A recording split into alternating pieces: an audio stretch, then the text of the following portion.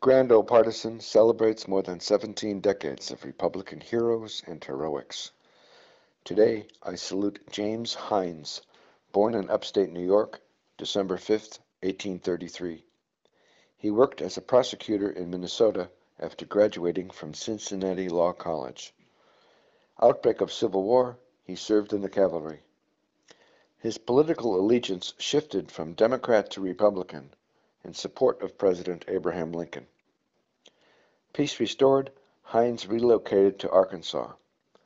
In 1868, this civil rights activist helped revise the state's law code and won a U.S. House of Representatives seat.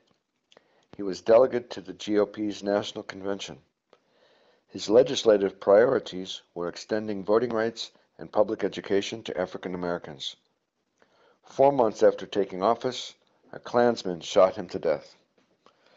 Back to basics for the Republican Party is my civil rights history of the GOP. To quote the book, the more we Republicans know about the history of our party, the more the Democrats will worry about the future of theirs. For more information, see grandoldpartisan.com.